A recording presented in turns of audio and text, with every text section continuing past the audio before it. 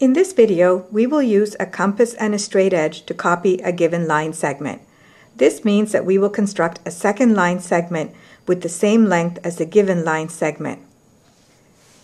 Here's AB, the line segment we will copy. Draw a point X. This will be one endpoint of the copy of AB. Use a compass. Place the compass point on A and adjust the compass width to the length of AB.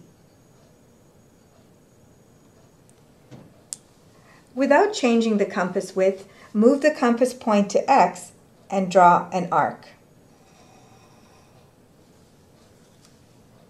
Mark any point on the arc.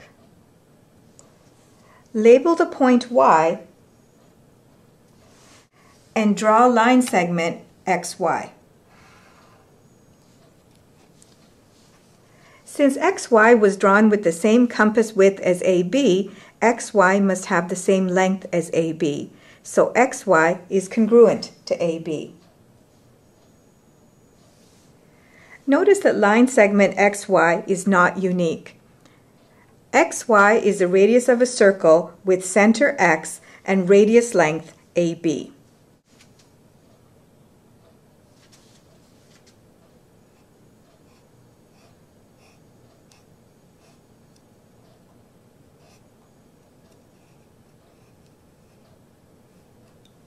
So any radius of the circle will be a line segment with length xy